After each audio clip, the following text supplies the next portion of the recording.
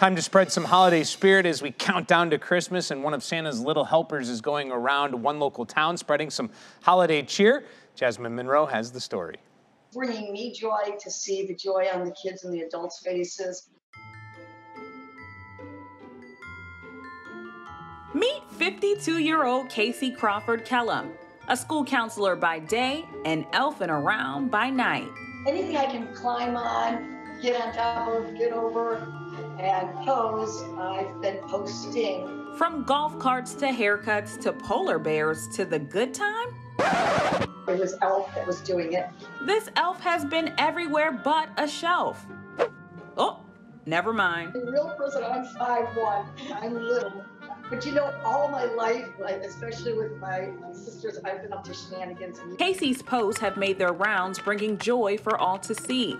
It's what I do for a living. I'm always looking for ways to help everybody else get through uh, their tough times. And she knows how important it is to smile through those tough times, especially after losing her husband Craig back in 2015 to prostate cancer.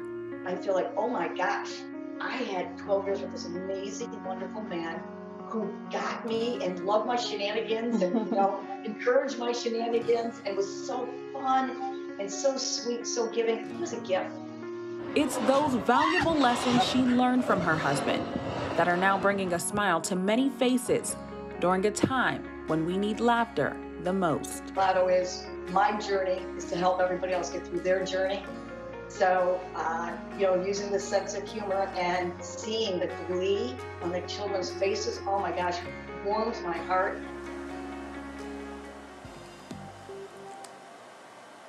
Kasey is so amazing. She is in the Parma area. And, you know, Dave, when I think about this story, I think about, you know, all of the good things that tend to happen that come out of those bad times. So she, uh, of course, uh, has used what she's been through to make Mm-hmm. people's day even better. And that's just her personality, period. She says she will be elfing around town.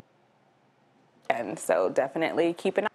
Yep, we'll keep an eye out for sure. Jasmine, thank you for that. And Holly, I'll tell you, you ju- I don't know if you saw the one with the toilet paper, but Yeah. she's definitely humorous. But then there's that emotional story behind it as well. Really, just uh, a great story. It's it's just all around, yeah.